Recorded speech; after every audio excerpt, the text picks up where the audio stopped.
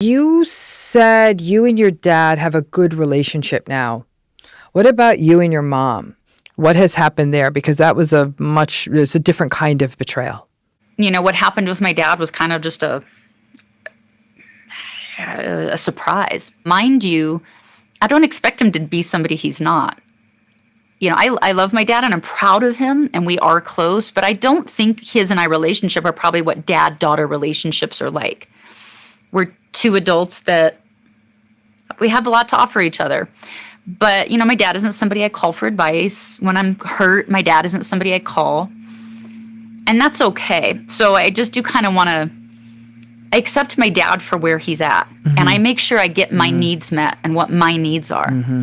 So I'm just not looking for my dad to be that guy, yeah, you know. Yeah, yeah. Um, I'm I accept him where he's at and it's healthy. Mm-hmm. And there's nothing harmful about no. it.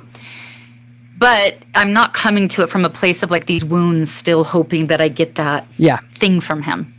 Um, I figure out how to get those needs met. Yeah. And the world is full of ways to meet those needs, mm-hmm. and that's the good news.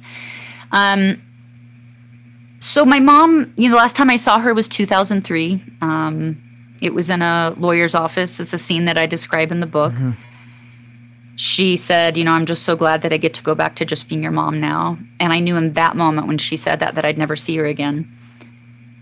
Or I didn't think I would. And I haven't. Mm-hmm. Um, I haven't seen my mom since that day. She never reached out. Uh, she did write me a letter when I was pregnant that said, You know, I'm always here to forgive you whenever you're ready. This classic gaslighting and manipulation technique is something I've heard from survivors time and again.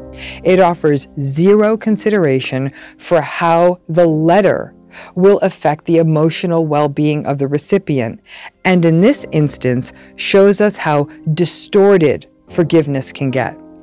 People who betray us often twist reality to make us think we owe them an apology.